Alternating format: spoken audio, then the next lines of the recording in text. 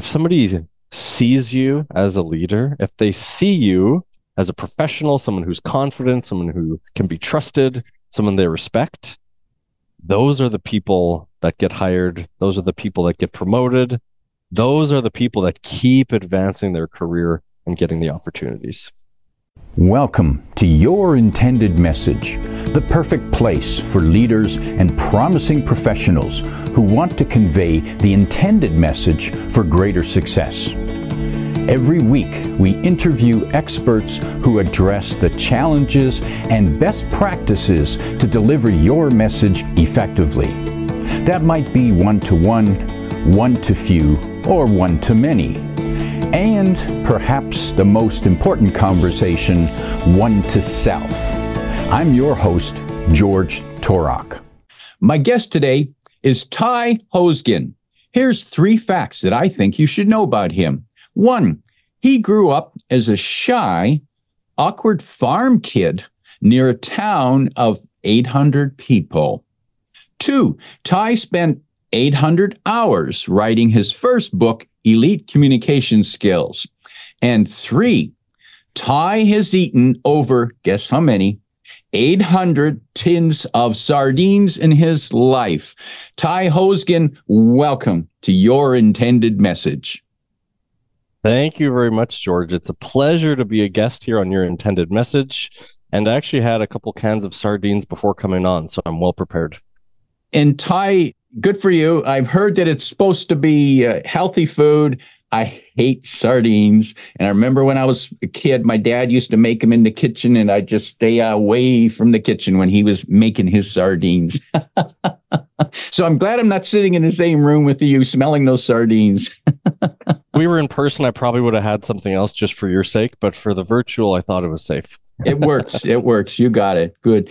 And and Ty, the book Elite Communication Skills, you wrote that book because I wrote that book because I grew up first learning about communication well over 10 years ago. And at the time when I started learning, I was a young man who found everything so boring to read. A lot of the resources were just very dry, nothing very interesting or exciting. And so I was thinking, how do we actually get, especially younger people, to want to learn a little bit more about communication? So I wanted to write that book to not only enhance my own learning and give me a reason to do a lot more research, which I love, but also just to make it a little bit more lighter, digestible, a little bit more fun to learn about communication, especially for people that have shorter attention spans, which is probably most of us these days. Definitely, yes. All you have to do is is look at TikTok to realize how short people's attention spans are. Uh, Ty, shy, awkward farm kid, clearly not a social center of attention. I mean, so how did you get from that shy, awkward farm kid to, first of all, being interested in improving your communication skills? Absolutely. It was quite the journey. And it really started when I had first graduated university. The only job I could get was selling life insurance at that point. So I remember applying for just dozens of jobs. And as you can imagine, I didn't interview very well. so the only job I could get was selling life insurance. It was a commission only job. So they probably thought, yeah, what's the risk here? We'll toss this kid in and see what happens. So at this point, I had kind of got through life okay, being that shy, awkward kid. You know, university, it's a lot of tests, a lot of papers. You don't necessarily need to be an extrovert or an outgoing speaker to get by in the education system, but in the professional world, especially if you're not a genius, which sadly I wasn't, the communication skills are incredibly important. So I remember being afraid to ask someone, Hey, how was your weekend in the office? Classic water cooler talk. Even that made me nervous. I remember just getting sweaty and getting anxious to even have a little bit of small talk. Now, if I was, let's say, a technically skilled person whose income depended on my technical skills, maybe I could have gotten by for a bit and had some level of success in my career. But because my job was based on speaking, having to talk to people about death and disease and disability, what's going to happen if one of those bad things happens, it became so apparent to me that, okay, this is something I need to get better at. And not only just to be successful, but also just to not hate going to work, just to feel a little bit better about getting up every day and having those types of conversations. So it was at that point I tried to resist for, you know, first month, month or two and just kind of hide behind everyone else, hide in the background. But because my income was solely dependent on me, it really became apparent that I need to get better at this and I need to get better at this fast just to have any chance of having a decent life at that point. Now, Ty, you pointed out um, an, an interesting uh, problem for people who are technical experts. They believe that their technical expertise is enough to sustain and grow their career. So it might come as a shock to them that, okay, yes, you're, you know, this, you're technical, you know your field, but guess what? If you work with people, you have to be able to talk to them better. And so that must come as a shock to many of those technical experts because I've uh, sadly listened to some of them speak and just wondered, okay, I don't think I'm going to listen to any more of this because clearly they know what they're talking about, but they're delivering in such a boring way. What do you say to those people to get them to wake up and see the damage they're causing to their career? Absolutely. And so you can get to a certain point in your career just like that. If you're okay putting people to sleep every time you talk, if you're okay being boring to listen to and nobody really wants to have a conversation with you, nobody really understands you, you're just doing your role, hoping that you keep your job. Suppose if you're that type of person, you can keep doing that. But if you're the type of person that wants to actually grow in your career, you want to get better, you want to make more money, you want to eventually grow into a leadership role, then the technical skills really won't get you any further. It's all about the communication and people skills. And there's actually a really good study on this that's done by Harvard, Stanford, and the Carnegie Foundation. And it showed that 85% of your financial success in your career is actually based on your communication skills, those soft skills, the people skills. So if you're trying to actually keep moving up and you're not content just having the same job and the same wage your whole life, then absolutely the people skills, the communication skills, that's really what is best to focus on next to keep you growing. And going back to your university experience, and I recall certainly the same thing. Uh, they didn't teach us communication skills. They and, and they certainly didn't teach us that in high school. I mean, they taught us grammar, uh, and but they didn't teach us how to communicate with other people, which seems to me a big hole in the education system. It's a huge hole. Imagine how valuable this would be, even if we were teaching it to high school kids, right? If somebody could start learning as early as possible, that can absolutely transform a person's life. A lot of my clients are parents, and they'll even say, not only does a lot of the stuff work for me talking to my kids, even though I teach professionals to speak better at work, my clients will actually use a lot of these techniques with their kids. Because obviously, believe it or not, clear, concise communication is also better for children. But the cool thing too is their kids then start picking up on some of this. And it always just warms my heart to think about, you know, a 10 year old or an 11 year old is learning how to speak more clearly explain the reasons behind their thoughts and speak in a simple way so that people understand them. Oh it's it's absolutely tremendous to think about. And regardless of what age you learn the good part about this is that it's a learnable skill everything is a learnable skill and everything can be fixed if you are not naturally gifted like myself genuinely no natural talent no natural speaking ability not naturally outgoing. Everything is a skill that can be learned. So that always brings a lot of my clients relief too, is that, oh, okay, I'm not stuck like this. Thank goodness. Hi, what are the people that you work with, the clients that you work with, that you help with, what are some of the common mistakes that you notice right off the bat?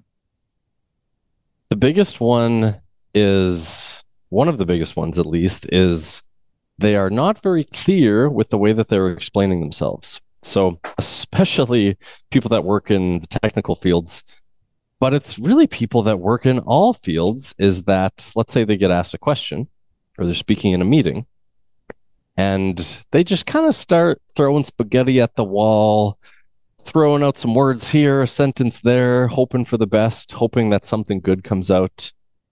There's a famous scene from the show The Office, if any of your listeners have seen The Office, and it's Michael Scott, who is the, the head boss there. And he says, Sometimes I just start a sentence and I don't really know where it's going, but I just hope I find it along the way. and that's what a lot of people seem to do, especially in the corporate world, when it matters the most to be clear, to have people understand, to be persuasive, to be powerful. And so, one of the biggest mistakes is just having no structure, no organization in the way that you are explaining something. You're just rolling the dice and hoping for the best when you open your mouth. What a great phrase. Sometimes I just start a sentence, no idea where it's going to go, and hope I'll find it. Uh, in recently, I attended um, a networking meeting and there was a speaker and and after there were some people who stood up to ask questions. And i'm listening to the people who are supposed to be asking a question. I'm thinking when are they going to get to the question? Because they're just talking and they went on so long that i don't even know what the question was if there was a question there. Fortunately the speaker did must have listened better than i did. And i've noticed that as a common theme, people start talking, I think, before they think. I think that's the problem. For sure. Part of that is a lot of people that I know are uncomfortable with that little bit of silence too. So they feel like, oh my goodness, if I take a second to respond, somebody's going to jump in or somebody's going to think that I don't know what I'm talking about. But having the confidence to take your time and take a moment to think if you need it can be actually the difference between having a great point or no point at all. I remember when I was actually in that insurance role, my boss was a bit of a bit of a stern, no nonsense type of guy. And every week we'd have a team meeting. There's multiple reps, and everyone had to give their update for the week. So I always just wanted to get mine over with as fast as possible. And so I'd start speaking and I just wanted to say all the things I had to say and then get it done. And I remember once he interrupted me and he said, Ty, it's not a race. You don't get any points for finishing your update quickly. I can barely understand you. And that's just burned into my brain because it's really embarrassing at the time to get called out. He did call other people out for various things frequently, but for me, that was just terrifying. Now the thing is, he was right. Like there's there's no prize for just saying all the things as fast as you can. And when you're in a rush to answer, that's usually when you're not very articulate. You're not really explaining yourself well. I remember with other people in those types of meetings too, he'd be like, What is your point? what is your message? Like you would just, just kind of ruthlessly, but kind of hilariously, if you're on the other side of it, call people out for not being clear. And it happened all the time. So that is absolutely something that everyone could at least be a more, a bit more aware of is just taking their time to be more articulate. Mm. Ty, a team leader who's leading a team that wants to encourage their development, both as an individual, their skill development, and their career. What can a team leader do for their uh, team to encourage better communication? Well, it's definitely not calling people out that aggressively in front of everyone.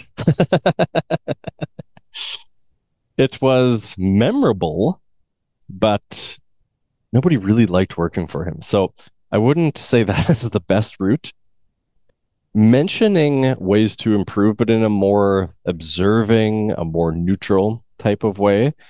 And it takes patience and it takes effort, but really, just being as consistent as you possibly can with praising every time the little things are done correctly. So if you're teaching someone how to be a little bit more clear, or hey, can you give that same answer, but just summarize it into the main points?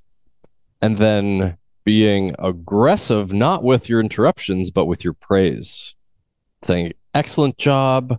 Oh, that was so much more clear. Thanks for doing that. And a lot of times, I, this is a lesson I had to learn with my team members as well, is we think because we've t- told them something once and we've praised them, you know, once every few weeks, that that's all they need and they're happy with that. But if you remember, actually being an employee, there's no such thing as getting too much appreciation. So just appreciating those appreciating those little things consistently and accepting that it takes patience, it takes time, it takes a little more effort. I've seen that go a long way. And a lot of my clients that are in leadership positions, they've noticed tremendous differences in their teams, not only with their attitudes, but with their performance. Mm. And Ty, there were three words that that you've mentioned that caught my attention where c- people can improve their communication. And one was about uh, structure, and the other organize or being organized, and three was to summarize. So those in themselves sound like three powerful techniques that people can use to communicate clear. So how can someone better structure their message? Absolutely. This is something that should absolutely be taught in schools structuring your message. So, first, what is your intended message? This is something that you should know before you start speaking. I teach a framework that a lot of my clients find very easy and they find very useful. It's called the PRP framework. So, it's point, reason, point. It's very simple if you get asked a question, you start with your main point first. So your intended message first. What's really the main thing you want them to know? Then the reason. So why do you think this? Where did this point come from? Why do you believe this? And so you give your reasons for that. And then because people tend to hear and remember the things that they hear first and the things that they hear last the most, we actually want to restate our point at the end because we want the last thing they hear to be that main message. So we've got our point first, then our reason or reasons, then we restate it with a point at the end. The restatement at the end, very underrated and necessary because if you've ever been in a situation where the conversation just kind of gets off track, sometimes that's because somebody has ended their point with something that's a little bit off and people respond to whatever they hear most recently. So if we restate the main point at the end, it's a lot less likely those conversations are going to get off track. Mm, that's a simple and powerful formula to follow. And yes, I can certainly identify um, listening to people who perhaps make a point early on, but then they seem to wander around and by the time they're finished i can't remember what the point was anymore. Or i'm too distracted by what they they went off on a tangent somewhere. So if they could come back to the point and then i go oh that's the point. Yes now i remember what it was. Real simple formula. Point reason point. I like that. That that in itself could improve a lot of conversations Absolutely. And if you want to expand a little bit more, then you can add an E in there and make it prep. Mm. So point, reason, example, point. So you can add a little example, you can add a story. And keep in mind, that these things are best used in your professional settings, your meetings, when being very clear and concise is extra important. Okay. So sometimes people will think, well, do I need to use these all the time? You're having dinner with your friends, and the conversation goes off in a few different directions. That's okay. It's not a big deal, right? You don't probably have an agenda for a dinner chat with your friends, but I really want to stress that in professional situations, everyone is in a hurry. No one has enough time. people want the meat and potatoes of what you're saying and not all the sides and the desserts. So, especially for any meeting that you're in, anytime someone asks you a question, PRP or PREP are going to be really helpful. And you're right. Having a, an example or story can be the most memorable part because I believe that that's usually something we can identify with. We can either see or feel that. Absolutely. And George, I know you're a great storyteller. And I remember in one of our previous conversations, you gave me some really good tips on storytelling. So I'm actually curious what do you think is one of the biggest mistakes people make in professional settings when they're trying to tell a story? I think they're looking for too complicated. I think they overlook the use of simple stories, that we can use stories from our own personal life that is an analogy for what we're explaining. And then people can connect with that. And so I give the example, one of the examples I've given, when you talk about being focused on on your goal or one point or one direction and you miss everything else that's going around you. And so I gave the example uh, once of I was at um, watching my daughter, youngest daughter, play soccer, and I ran into a friend. Turned out his daughter, we figured out, was playing on the opposite team. And he asked me, he says, George, which one is your daughter? And I pointed at the field and I said, the one with the ponytail. And he started laughing and he said, George, they all have ponytails.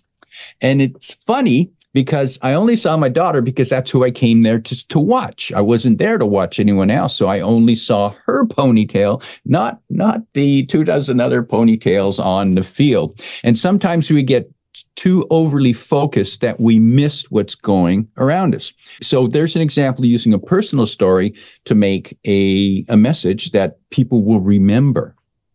That's a great example. Something that came to my mind there was that if your daughter was the one with the ponytail, you have like 20 daughters that are the same age. you could have said, "Oh, they all, oh, you got a big family, George."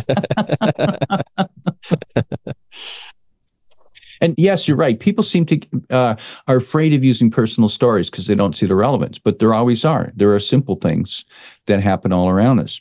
And Ty, when you're working with people, what do you do to draw out their stories? Absolutely. It's really coming down to what you said about thinking about just the everyday moments in your life. So it's actually easier to think of moments in your life, think of little things that have happened that's caused you to kind of realize something or learn something, and then apply those to a concept that you're trying to teach or something that you're talking about at work instead of trying to think okay, I want to tell a story that talks about this particular message, and then I need to find something in my life that perfectly applies to that. There's a book that I read recently called Storyworthy by Matthew mm. Dicks, and he talks about homework for life, which is really just each day spending five or 10 minutes writing down the one or two kind of key events or things that happened throughout the day just to see if there's a little lesson in there that you can apply and make a short story out of. So I've started doing that. And if you can remember to do it every day, I have a reminder set on my phone. And to be honest, I still don't do it every day. but if you can start just thinking of your life like that, then all these little moments will pop up. And I'm sure if you had said, oh, I went to my daughter's soccer game, no one would say, oh, I bet you there's a story in there that you can teach a lesson from. They'll be like, oh, you know, did they win? Did they lose? How'd you play? Right. But when you have this type of mindset, lots of these little moments are popping up. And then it's just afterwards figuring out how can we apply this to something that I teach? Because you could use the ponytail example and kind of twist that and teach a few different lessons from it. And that's a good point. Yes, there usually is more than one message you can take from an incident, and and it's just a matter of being uh, open to to telling those stories. Uh, and Ty, when you're helping people who are mid career who are ambitious and want to grow their career, where do you start with them improving their communication skills? Is is there a, a, Uh, a method that you follow? Is there a where and is it a matter of mindsets? Where do you take them? Absolutely. So we've talked about one of the biggest pieces, which was the clarity piece. That's something that will often have the biggest impact is first we got to make sure that people understand you right we got to make sure you're explaining things in a very clear concise powerful way so once we talk about how to explain yourself there's elements of the voice that we have to cover and the elements of body language that we have to cover so what i do is i customize it for each person because certain people are doing certain things very well others are doing completely different things well. And then the mistakes are varied across the board. So even a lot of the same things come up in that somebody is perhaps doing something with their voice like they are speaking too quickly or they're not pausing or they're using a lot of filler words or they're going up in pitch a lot. Things like that that will make them sound less credible, less certain, less of a leader. Or with their body language, maybe they're closing themselves off a lot in certain situations they've got their arms crossed or they've got barriers in front of them or they're making weird eye contact it really depends on the person so it's customized based on what are the things that they're doing to take away from their credibility take away from them looking and sounding like a leader and then once we fix those mistakes then we're going to optimize and we're going to fine tune everything again, the voice, the words, the body language. It really comes down to, especially in the professional world, whether we like it or not, it's how you're perceived. If somebody sees you as a leader, if they see you as a professional, someone who's confident, someone who can be trusted, someone they respect, those are the people that get hired. Those are the people that get promoted. Those are the people that keep advancing their career and getting the opportunities. Mentioned a few uh, challenges or problems there. Speaking too quickly hurts credibility? Oh, absolutely. A lot of times, if somebody speaks too quick, and this is a common thing that especially happens when people are a bit nervous, so our heart rate increases, we get a boost of adrenaline. And when that happens, it's almost giving away that you're not calm, you're not confident, you're not in control. Typically, too, if I'm talking this fast, I'm trying to make a bunch of great points and I'm trying to sound really important and saying a lot of good stuff. You're not really picking up on what I'm saying, right? You're just trying to keep up rather than actually absorb anything useful that I might have to tell you. So that is one of the probably the biggest mistakes that I see is just not feeling comfortable keeping the pace under control. And speaking too quickly seems to be more common with younger people. Why do you think that is? That's a very good question. I'm going to give a hypothesis that they're more likely to be nervous and be judging themselves. Depends how young and how old we're talking here, too. well, almost everybody's younger than me these days. that would be my guess is that they're likely to be harder on themselves and then actually feel more nervous and that they're being judged more versus somebody who's a bit older and maybe just doesn't care as much at this point? That's a good question. I've never thought about that. That would be my hypothesis so far. Mm, mm.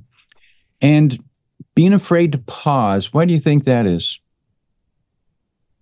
I actually had this conversation with one of my clients the other day. And I asked them why they were afraid to pause. They said, Well, I don't want to get interrupted. And I don't want to sound like I don't know what I'm talking about. Now, we're not talking about pausing for 10 seconds, giving a long, dramatic pause. We're talking about pausing for one second, two seconds. People are not comfortable with silence because they feel like they always need to be talking. And if they're not talking, then the world is going to explode and everything is going to end. if you've ever been on the side of feeling like you paused for a really long time, And if you've ever been lucky enough to have recorded that moment, if you actually hear the pause and you are on the other end of a pause, it sounds way shorter and it actually sounds pretty powerful. But when you're in the moment, the pause to you feels like 10 seconds, 20 seconds when it's actually one second. So it's also the warped perception of time that happens when we're speaking and there's people looking at us, people are expecting us to say more, completely changes the way that we think people are perceiving it. When in reality, most of the time you could pause for a few seconds in any situation and it'll actually sound intentional and make your point sound more powerful. Mm, mm, true. Uh, Ty, let's tell people your book, Speak Like a Confident Leader. Let's tell them about the course that you offer there. Speak Like a Confident Leader in seven days. That is a free course at your website. And we have that description, that link in the description below. Who's that course for? What will they get from it? Absolutely. So that course is for anyone who has already had some success in their career and they either want to get into a leadership position or they're in a leadership position and they feel a little bit out of place. They've got a little imposter syndrome. And so they want to really speak and present themselves like that confident leader. Okay. So this covers everything from we covered the three main areas, right? This covers everything from our words, body language, and voice. Okay, so there's seven days in, of seven videos, and there's a training you can do each day. If you do about five ten minutes per day with each of the seven days, you're going to become a better speaker than probably 95% of people because the advantage of learning about communication is that very few people actually put any time into it. People will think, well, I speak all the time. I'm pretty good at it. But just because you speak a lot doesn't mean you're skilled. And that's something that a lot of extroverts that I work with even find. They think comfort with speaking equals skill with speaking, which is not the case. And then for the introverts, there's even fewer introverts that work on their speaking. So even if you put in five ten minutes per day over these seven days, following the tips, you're going to be amazed at how much progress you can make and how much more confident you'll look, feel, and sound. Mm, sounds like that'll give them a competitive advantage in their career. Uh, investing only up to 10, 10 minutes a day for seven days, just around an hour's time for a week to improve uh, communication skills and there's no charge. What a terrific return on their investment just for a little bit of time. Ty, as we prepare to wrap up, if you could sit down with a team leader who has noticed that they have members on their team who are weaker at communication skills, especially when they have the meetings, if you could give that team leader advice on how they can uh, help develop those team members, how they can help them develop the communication skills of the team members. If that would be one, two, or three pieces of advice, what would you offer? Absolutely. So, other than going to how to speak better and getting the free course, we need to acknowledge that these things do take time and they take consistency. So, as a team leader, you have to decide am I going to spend a little bit of time each week with them? Or am I going to bring someone else in to spend a little bit of time each week? And I say a little bit of time each week because I've done many corporate presentations where you get brought in for a full day or a half day, or they'll do an event and they bring in a bunch of speakers. And it's it's fantastic. I love doing those. They're valuable. Everybody learns a lot in that condensed window. But most people don't actually implement the things that they learn. They take all these notes, they try things for maybe the next week, and then most people just go back to speaking how they were before. Now, it's not their fault. No one's lazy. That's just the way that our human nature is. So, for companies and teams, if you have the time and you want to invest time consistently with them or bring someone else in, as long as it's consistent, giving them feedback. Here's what you did great. Here's what you still need to work on, and being patient. Because if you think you're just going to speak to them for an hour or do one session and everyone's going to be amazing and perfect for the rest of time, that's just not the way that it works. So that's it's a wake up call that a lot of organizations need is that it does take way more consistency than you think. Mm, valuable advice there, Ty. Too many people think that the fix for any skill set is well, well, we'll get a half day or a full day of training and we can mark that off as done. But the results, if they really want results, it's consistency and attention over time, which makes the real results. My guest today is Ty Hoesgen, reminding you that when it's your turn to speak, you don't want to be thinking, I start talking and I don't know where the sentence is going to go, and I hope that I find where it will.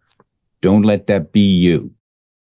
If you like what you heard, tell your friends and post your five star review on Apple Podcasts because that helps more listeners find us. Come back every week for more practical insights to help you deliver your intended message. I'm your host, George Torok.